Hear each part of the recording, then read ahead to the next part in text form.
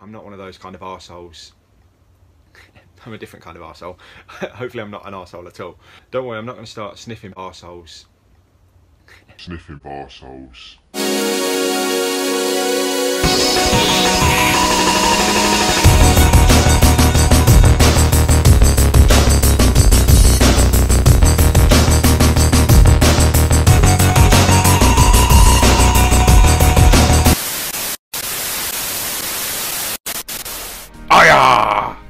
Welcome! Got a real mixed bag of Funko figures here. Well, a mixed box to be more precise about it. Three different lines. Couple of chances of pulling a chase as well in here. One from a pop and one from a soda. We'll do the soda opening at the end as um, they always tend to have a little bit of excitement and jeopardy in them. But let's get this open. So this order altogether I was a little bit annoyed because I'd just fallen under the £40 threshold for free postage. I think this ended up being like 39 but I couldn't really find anything on the site for like a pound or two that I wanted just to bump it up so I did end up paying the £4.25 in postage. So I reckon this that's wrapped in a load of brown paper, that's going to be the soda so I'll put that down and we'll do that last. Also put my knife down, safety first and all that. And uh, we've got one of these sort of funny sorters here. What shall we do first? Let's do the pop that I know it's definitely not going to be a chase because the chase hasn't come out. And it's the impulsive one as well. I struggle with these more than I think is uh, necessary. Oh, there we go. It wasn't too difficult. I'm trying not to look at the other pop. I think I've got the right one out. Yes, I have trying to put this down somewhere where I'm not going to be looking at it too much until it's time. But the first pop I'm going to show you is in the Pop Rocks line and it is number 202. It's Willie Nelson. Yeah, this was kind of impulsive. As you know, I do like collecting the Pop Rocks and um, over the last, I would say six months almost, I've become a lot less stringent regarding my rules for collecting these. Before, I just used to get the Pop Rocks figures that I was a fan of their music. And I still do in a way. There's still a lot of pop rocks I just won't go anywhere near them because I'm just not interested in the music. Like BTS, for example. It is BTS, that Korean boy band. Oh, what I've heard of them, a complete shit. Anyway, box is coming open a little bit there, but here's Willie Nelson, a country music legend. Good condition box, as is often the case with these pop rocks. They're not part of a particular wave of any, it's just they bring them out as and when, really. And uh, who's going to be in a wave along with Willie Nelson? I'm not sure, really. Johnny Cash, perhaps? That's one I would like, actually, Johnny Cash.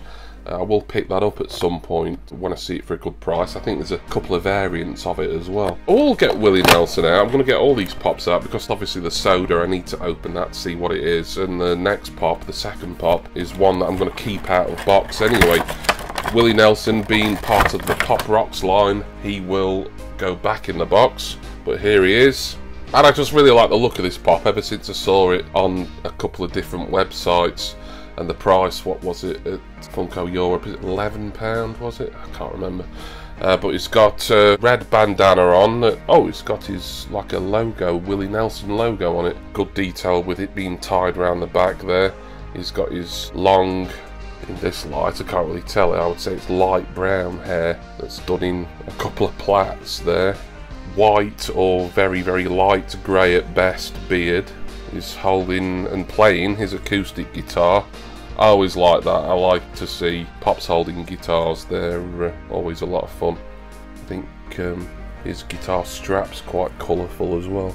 Might be like a rainbow type one. What I think is a black shirt. He's wearing blue jeans, black shoes. Willie Nelson. Yep, I think that's great. Not one that I was desperate for, but I thought, you know what, Funko Europe have it in stock. I'm definitely getting the soda, I'm definitely getting the other pop why don't I just get another for the Pop Rocks line while I'm at it. So, Willie Nelson there.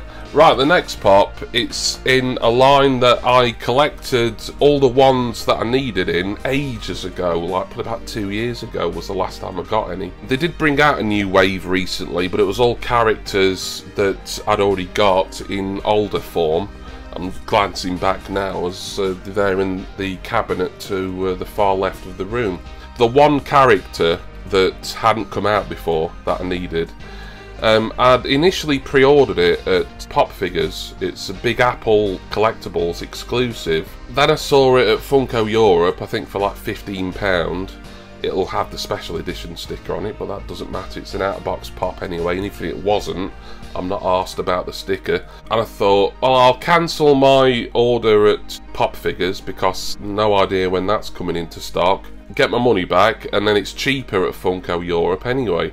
And then I also realised after I'd done that that um, actually there's a chance of a chase here, which I didn't even realise. I'd had this on pre-order since like May, and I've only just realised it's now October that there's a chance of a chase. But let's see what we've got for Parks and Recreation. It's just the normal one, that's totally fine. Number 1153 in the pop television line. This is Ben Wyatt. So yeah, Parks and Recreation, great US sitcom, mockumentary series. Big fan of it, watched it a few times. It's very much like The Office. If you like The Office, then you'll most likely enjoy Parks and Rec if you've not seen it. I think The Office is superior, but Parks and Recreation is really good. I do recommend that people see it. Oh, quite a sticky box, this. So I think the chase for Ben Wyatt was um, very similar. He just had like a sailor's hat on and maybe slightly different clothes, but was holding this cone here. Feels like where a price sticker would have been. Though ironically enough, that's where you would stick a chase sticker as um, you see the special edition sticker there it's quite over to the left really or the middle of the box but the left of the window perhaps the um, big apple collectible sticker was there it's very sticky there like something's been there that um, decided they ought to take off doesn't matter little look at this line on the back but um, as I say I've got some of the older vaulted ones of these like I've got a Leslie um, I've got an Andy Janet Snakehole, that is, um, oh, I've forgotten her name. Oh, it's gone, it's gone. oh dear, I'll put it on screen. But uh, yeah, I've got her. Duke Silver is, of course, Ron Swanson, and there's another Ron there, so a few Rons out now. But I've got um, what was probably the original Ron Swanson Funko Pop release. Right, let's get Ben Wyatt out. Not a lot to look at, really, but it's not the most interesting pop. I do like the character. Compared to some of the wacky characters in Parks and Rec, he was probably one of the more sort of normal type ones. I mean, he was a complete nerd, a complete geek. Here he is, Ben Wyatt. The cone he's holding is in reference to like a tabletop game that he invented, the Cones of Dunshire. And uh, he invented that at some point and then a few years later it ended up earning him a lot of money I think. Uh, I don't want to give spoilers out because like I say go and watch Parks and Rec it's very funny. But not an awful lot to really say about this chap. The hair looks good dark hair there with some texture on the top wearing a black probably leather jacket or maybe a hoodie perhaps I'm not sure white shirt, light blue, maybe jeans or trousers, black shoes. But uh, Ben Wyatt stays out of box because I've made some space for him in my cabinet that's got all my parks and recreation pops in and it's also got quite a lot of my office collection and hopefully you'll be seeing me add to my office collection very soon on this channel.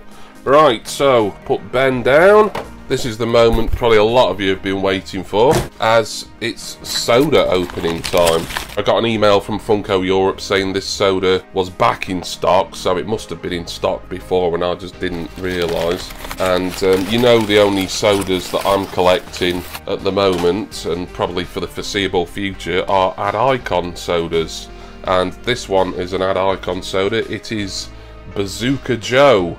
So this is the third Bazooka Joe Funko figure I've got. I've got the Pop, which is behind me somewhere. I've got the Dorbz, which is up there somewhere. And now I've got the Soda. It's only 4,000 pieces this, so it's quite sort of limited, just as it is even if this isn't the chase. And I'm not expecting it to be the chase. So very happy I've got this, really. Let's undo this plastic. I don't think there's any sort of special sticker that I need to save. No, there isn't.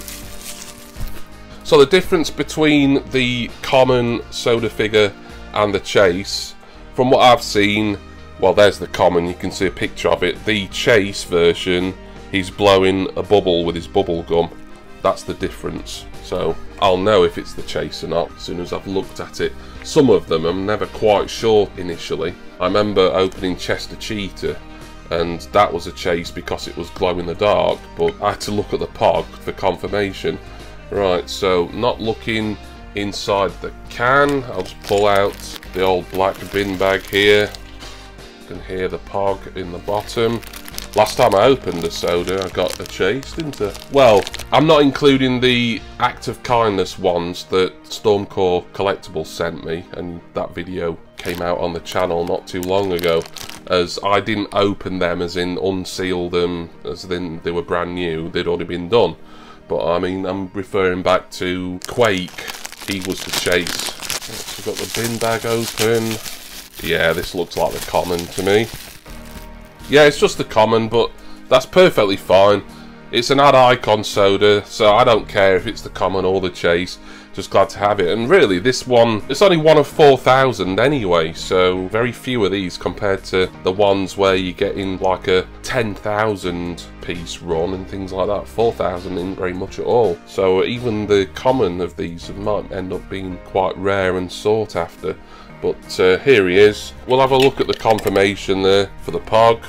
Yeah, his what? That's a weird number. His one out of 3,340. So, uh, there we are. Very nice. As I say, the only difference would have been you'd have seen like a pink bubble coming out of his mouth there. But he's got his eye patch on, blonde hair. Reminds me a little bit of um, the American Dennis the Menace, you know, the blonde-haired little shitbag.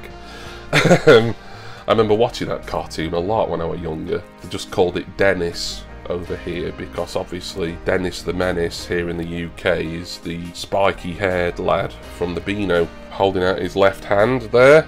Got his right hand in his pocket, bazooka logo t-shirt, blue baseball cap, trousers that are turned up at the cuffs there, brown shoes, very nice, will fit perfectly in my ad icons soda display because as I say I'm only getting ad icon sodas because otherwise that is a collection that could just run rampant and I think it has for a lot of collectors.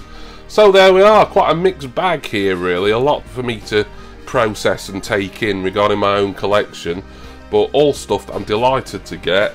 Willie Nelson, yeah, impulsive and another pop rocks that I could have perhaps lived without but I think he looks brilliant and he's going to look great in my pop rocks display.